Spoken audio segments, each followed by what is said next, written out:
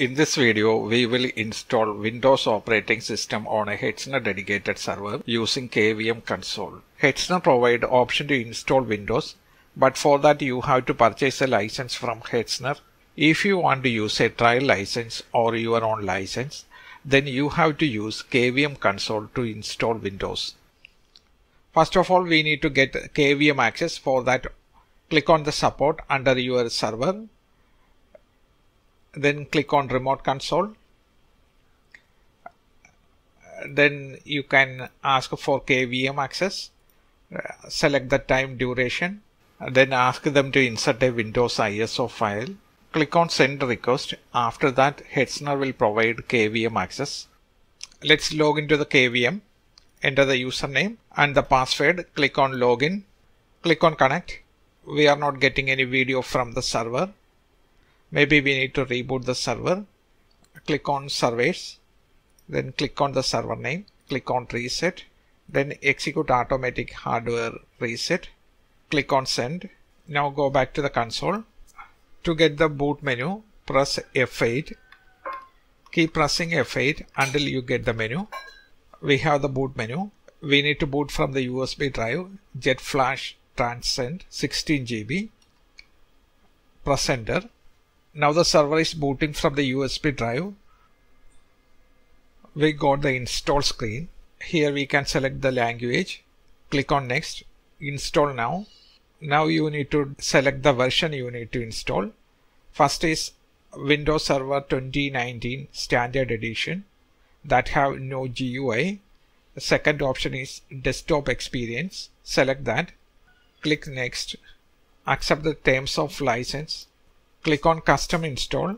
Here we have a previous installation so there is lot of partitions. I will delete these partitions. I have no data in the server so I am deleting these partitions. Delete partition 3 part click on partition 2 click on delete ok. Then the recovery delete that also. Now we have two disk disk 0 and disk 1 we will install windows on disk 0 click on click on disk 0 then click on next.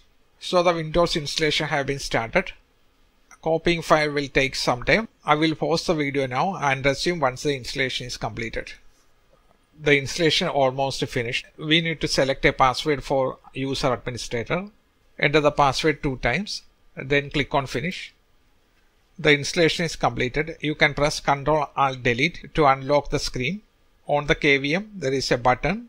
Click on the button now enter the password. Let's see if internet is working.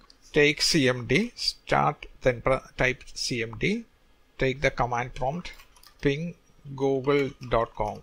We are getting response, so it should work. Let us close this. Now go to local server. IE enhanced security configuration. Turn it off. If you don't turn it off, you will get lot of prompt when using the Internet Explorer browser. So turn it off now take the browser. Let us see if websites are working. Google.com let's download google chrome and install it. Accept and install. Run. Now the chrome is installing. Now we have google chrome. Pin it right click and pin to taskbar. Let's see if we can connect to the server using rdp this is the server ip let's see if telnet to rdp port works. 3389 it is not working. So we need to enable remote desktop powershell run sconfig remote desktop is disabled now.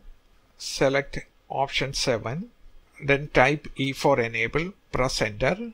Now it asks for the devices. We will select option 2 that is insecure but support more devices like Linux desktop press 2 and it is enabling remote desktop now. Let's see if we can connect to the port now. Uh, it is responding. So let's take remote desktop client and we will create a new connection. Let's get the server IP address paste it here.